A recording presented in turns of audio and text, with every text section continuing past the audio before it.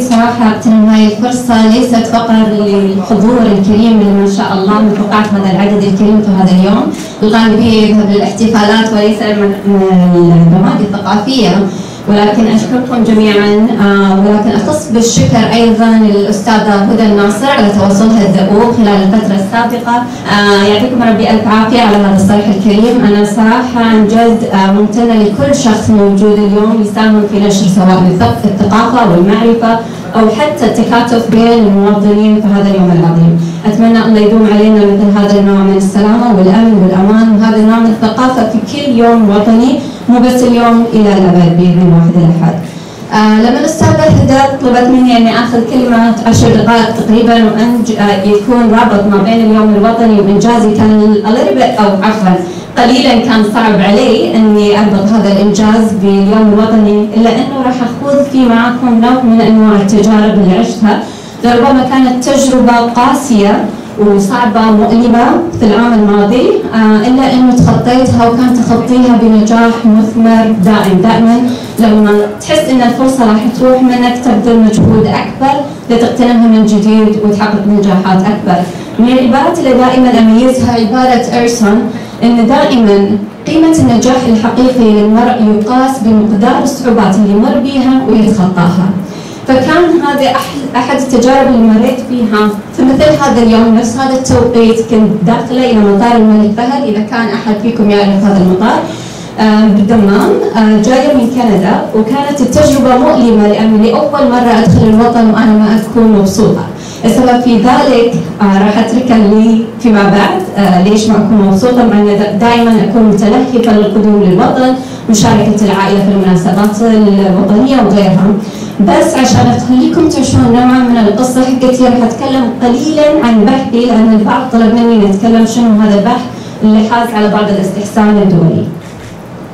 بحثي كان متعدد الجوانب لكن أهم الجوانب اللي حازت على الكثير من الانتشار والانتباه دوليا.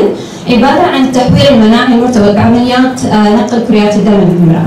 ولأبسط المعنى دائما عمليات نقل الدم الحمراء هي عبارة عن عمليات طبية مثل أي عملية أخرى لها الكثير من الفوائد ولكن أيضا لها مخاطر محفوظة بالمخاطر. من ضمن هذا المخاطر ما يسمى بردود الفعل السلبية. ردود الفعل السلبية قد تكون مناعية وقد تكون لا مناعية. في الآونة الأخيرة انتشرت هذه ردود الفعل السلبية المناعية المرتبطة بمناعة الجسم إما بالتقبيض أو بالارتهاب. فكان جزء من بحثي إني أبحث ما هي الأسباب المتعلقة بردود الفعل السلبية التي قد تؤدي إلى آه هذه الردود الفعل السلبية بعد عمليات نقل الدم. تطرقت إلى جوانب عدة ولكن من أبرزها أحد الجوانب هي أن حفظ الدم بعد ما نأخذ الدم من المتبرع ايا كان المتبرع نقوم بعمليات سواء التصنيع أو الحفظ أو التخزين. ولكن الدم مثل مثل أي منتج آخر مثل الحليب. بعد ما تحطه في الثلاجة لا صلاحية معينة ينتهي بعدها. فمثل ما تشوفون في الصورة الأولى كريات الدم الحمراء تكون غنية اقراص جدا تحمل طابع المرونة. ولكن بعد عمليات التخزين تتحول إلى خلايا مضمحلة تفقد قدرتها على الانسجام أيضا مع المحاليل الأخرى. بالإضافة إلى انها تتحلل وممكن أنها تقول أو تنفجر فتؤدي إلى خروج بعض العوامل السلبية اللي تاثر على المريض. ولكن الجانب اللي أثار جدل في الآونة الأخيرة في بحثي إنه إحنا لما نجمع خلايا الدم الحمراء من الجسم المريض أو نقوم بعمليه تصنيعها بعد تجميع الدم ككل نختلف من مركز إلى آخر في عمليات تصنيعها، فمثلا لما أنا أجي اجمع كريات الدم في كندا تختلف لما اجمعها في أمريكا، تختلف لما اجمعها في المملكة العربية السعودية، ولكن الضرر الأكبر لما يختلف تجميعها أو تصنيعها من مركز إلى آخر حتى لو كنا في المملكة العربية السعودية في نفس المركز آه، ولكن يختلف المعمل نفسه. فاثار جدل كبير والسبب في ذلك في عدة أسباب منها عملية التصفية، عملية الفصل وهلم جرى. الجانب الأخير اللي أريد أطرح فيه هذا هذا المحور هو إن لما الخلية نفسها بعد ما تخزن أو بعد عمليات الفصل تمر بمراحل إن تتأثر جدار الخلية لتفرز بعض الجزيئات تسمى بالحويصلات. أو الحويصلات الخلوية، هاي الحويصلات الخلوية اللي اثارت جدل كبير جدا، لأن إذا كنا نتكلم عن الخلية ما يقارب من 7 إلى 8 مايكرون، فهذه الحويصلات أقل من 1 مايكرون، وهي تعمل على آه، التحوير المناعي بشكل كبير جدا في جسم الإنسان. لذلك كان آه هذه الأسباب الكبيرة الملحوظة أنها قد تؤثر على الخلايا الموجودة. ولكن آه بدأت عملية البحث شو هو اصل المنشا لكل هذا الدمج أو الأضرار المترتبة على خليه الدم الحمراء وكيف ممكن الحل آه هذا الضرر. ولكن في مثل هذه المرحلة وصلني أكبر خبر مصدر بالنسبة لي إن السعودية قامت بإيقاف كافة برامج التدريب والابتعاث إلى كندا وإن كافة المبتعثين لازم يرجعون إلى الوطن بأسرع وقت ممكن. انذاك لربما انتبهتوا إلى هذه الصورة قمت بتجميع أكثر من 126 عينه دم من أكثر من 300 مريض متبرع. فكان في هذه اللحظة صعب جدا التخلي عن كل هالعينات، صعب جدا التخلي عن الطاقم تبعي، وصعب جدا التخلي عن هاي الرحلة. ولكن الأمر السامي أمر سامي no should say no بس uh, ما في أحد يقدر يرفض يعني فكان الامتثال لهذا الأمر السامي واجب للكل على أساس كذا أنا أرسلت بيت لكم هاي الصورة لاول مرة أدخل السعودية وأنا بكون مسرورة فيها. ولكن مثل ما يقولون سحابة صيف عما قريبا تنقشع. إن كانت فقط يعني فترة قصيرة جدا بعد ما كثروا في تقريبا فقط أسابيع معدودة وكان وزير التعليم اعلن إن كل المبتعثين راح يتم الاعتناء بهم بعناية فائقه وأشكر وزير التعليم اليوم على هذا الاهتمام الدؤوب. كان في أقل من أربعة أسابيع الغالبية من صحباتي رجعوا إلى إلى كندا وقاموا باستقبال البحث.